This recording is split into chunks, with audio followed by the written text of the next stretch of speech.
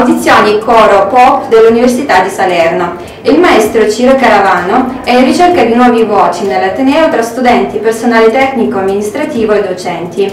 L'appuntamento è lunedì 14 aprile dalle ore 18.30 alle 19.30 all'Università di Fisciano nelle aule di ingegneria. Per informazioni per prenotare la tua audizione scrivi a musicautonea.it